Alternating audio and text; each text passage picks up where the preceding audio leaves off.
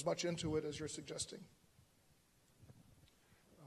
Uh, Hi, my name is Fred Parvaneh. I'm just a big admirer of Dr. Ansary. I just wanted to say this gentleman is Iranian and he is one of the biggest gender advocates and one of I have to applaud him because he has been a championing the women of Iran since I started. He is a die-hard advocate for gender equality. Oh, I actually featured him in an article we did at Huffington Post for men for gender equality. So Thank you very much. I, I didn't go to Barnard. What? I said I didn't go to Barnard. Um, just a quick question. In the general populace of Iran, what percentage of the men are actually supporting the feminist movement? I know you said that it's, it's incumbent on them to get involved, but I really have a hard time understanding. I know there was a movement that they, they were taking pictures of themselves. Yeah, and- but realistically, are men really involved? Because when I lived in Iran, even back then, it was sort of frowned upon.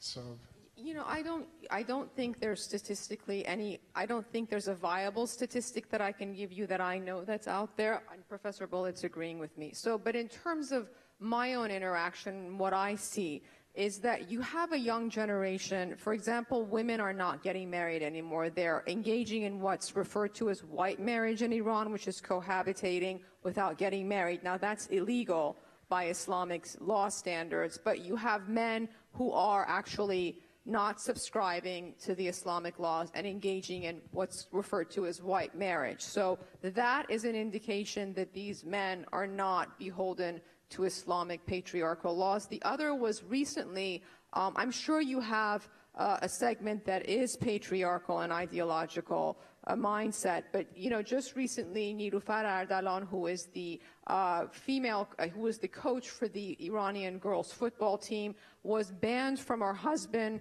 from going to Malaysia to lead her teammates. Now, in Iran, a husband can ban his wife from leaving the country. Uh, ironically, this gentleman is a sports journalist, her husband. So I don't. Um, but then you had all these.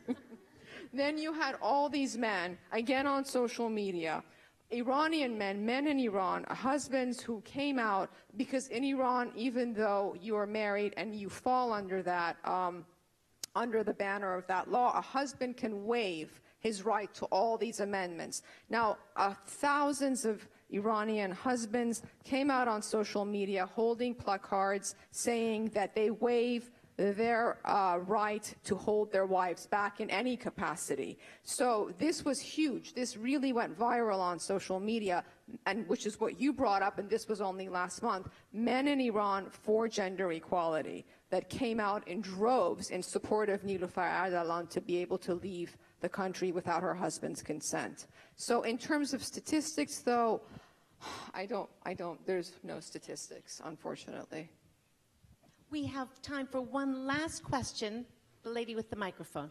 Hi, I'm Ann Barnard, 67.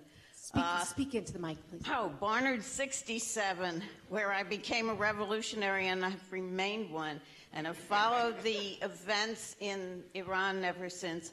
Uh, I would like to know if the young women are dis- uh, discussing, were inspired by, invoking uh, their mothers and grandmothers and great great grandmothers, because there's been a huge uh, women's dimension in every Iranian revolution from the 1905 06 one.